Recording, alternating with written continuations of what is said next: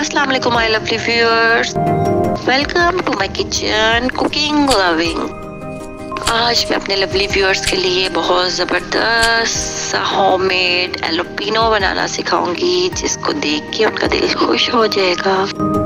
Viewers की बहुत झटपट सी रेसिपी है, आपको परेशान होने की बिल्कुल ज़रूरत नहीं, मेरे होते हुए you don't worry so viewers हमने ग्रीन चिलीज ली, इसकी इस तरीके से कटिंग कर ली मैंने। मेरे पास एक जार था। इस पर मैं तीन से चार जो चने, सफ़ेद चने होते हैं, वो ऐड करूँगी। उसके बाद मैंने ये ग्रीन चिलीज ऐड की। ग्रीन चिली ऐड करने के बाद मैं इसमें जो कि टू पीस हैं गार्लिक के, ये ऐड करूँगी।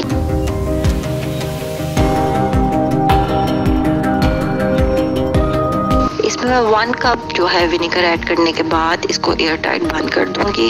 आफ्टर वन वीक देखिए मेरे कितने ज़बरदस्त से एलोपिनोस रेडी हो चुके हैं।